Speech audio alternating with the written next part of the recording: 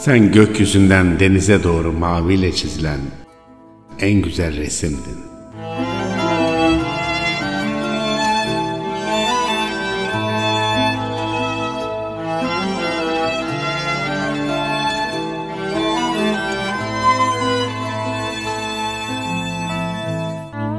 Martılar yakamozlara seni anlatırdı.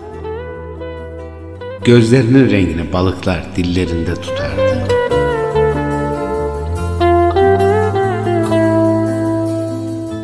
Saçların birer dalga ile kıyıya çarpardı. Bahriyeliler bu olayı deniz tutulması diye adlandırırdı.